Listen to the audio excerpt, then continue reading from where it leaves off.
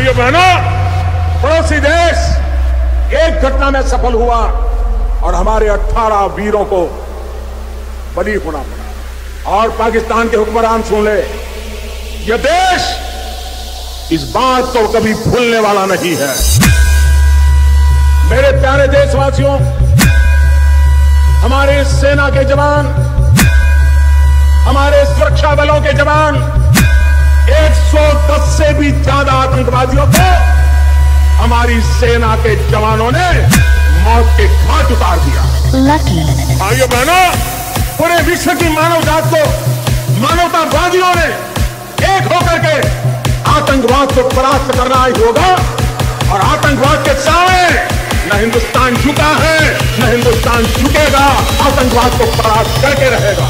आतंकवादी कान खोल के सुन ले।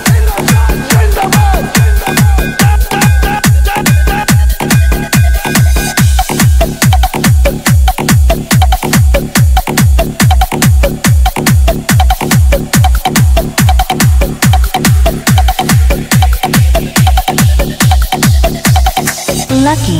दीजिए पाकिस्तान के नौजवान आओ लड़ाई लड़े।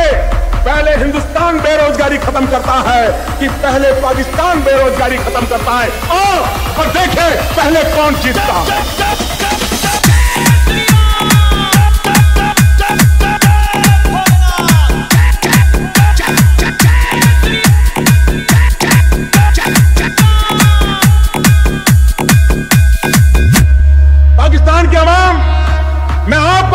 चाहता हूँ हिंदुस्तान आपसे लड़ाई लड़ने को तैयार है।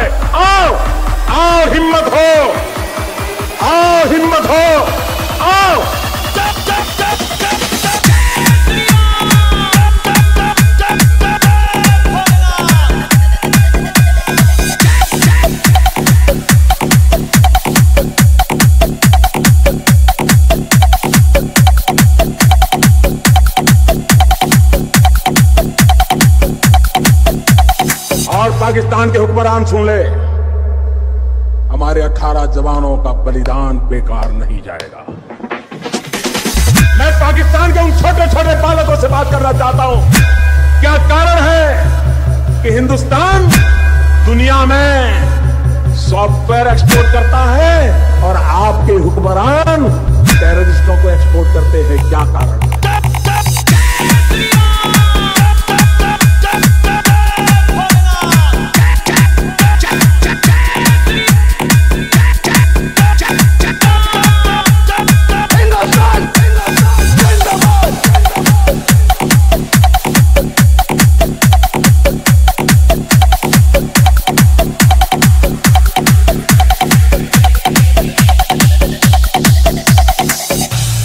प्यारे देशवासियों हमारे देश का भविष्य शांति एकता सद्भावना से जुड़ा हुआ भाइयों बहनों। मैं आज यहाँ से सीधा सीधा पाकिस्तान की आवाम से बात करना चाहता हूँ कि 1947 के पहले आपके पूर्वज भी इसी संयुक्त हिंदुस्तान की धरती को प्रणाम करते थे।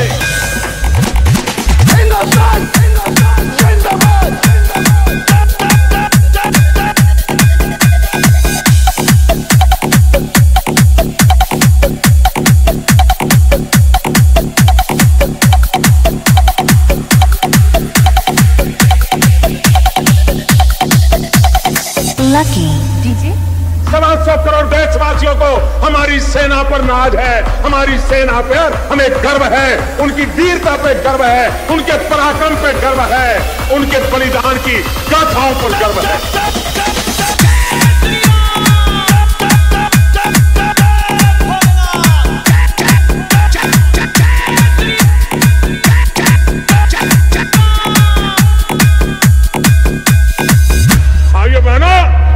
पड़ोस के देश के नेता, उनके हुक्मरान, कहा करते थे?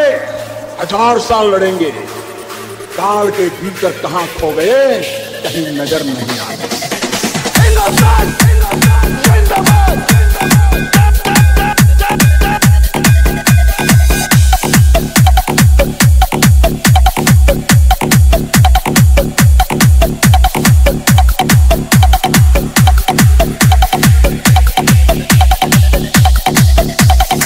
Lucky DJ आतंकवादी कान खोल के सुन रहे भारत के सवा सौ करोड़ देशवासियों का ये मनोबल यही हमारी ताकत है और यही हमारे सैन्य का सामर्थ्य है।